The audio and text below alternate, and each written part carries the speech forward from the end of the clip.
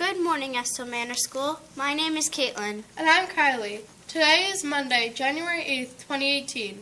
Welcome back, everyone, from that big snowstorm. Check out some of these pictures of how some of us spent the snowy weekend.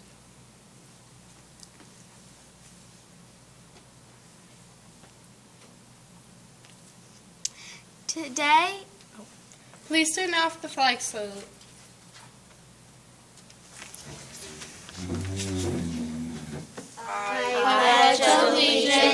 To the flag of the United States of America and to the republic for which it stands, one nation, under God, indivisible, with liberty and justice for all. Today is new Meatless Monday in our cafeteria, featuring meatless macaroni and cheese. They will also have chicken patty and buffalo chicken salad. Yum! Now let's move to the weather with Caitlin.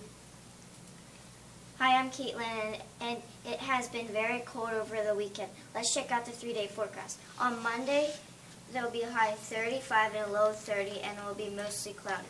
On Tuesday, there will be a high of 41 and a low of 19, and it will be clear.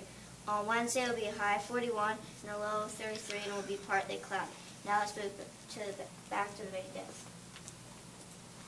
I'm sure we all had plenty of time to play some favorite board games.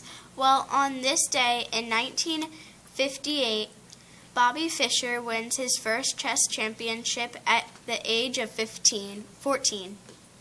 Looking ahead into this week, both the boys and girl, girls basketball teams have games on Wednesday afternoon away against Assumption. Thursday will be a home games against St. Joe's. Go Wildcats! There will be play practice this week on Thursday and Friday after school. Please see Miss DeLuca with the call sheets. There will be an HSA meeting tonight at 7 p.m. A special reminder to start studying those spelling words as our spelling bee is only one week away. Did you know that the Winter Olympics is about a month away? This year, we will provide highlights from the various events and updates and update the medal count as the games begin. Finally, let's share our joke of the day. What do you call candy that was stolen? I don't know what. Hot chocolate. Ha ha ha ha ha. Well, that's it for today. I'm Caitlin. And I'm Kylie. Wishing you a marvelous Monday and a wonderful week.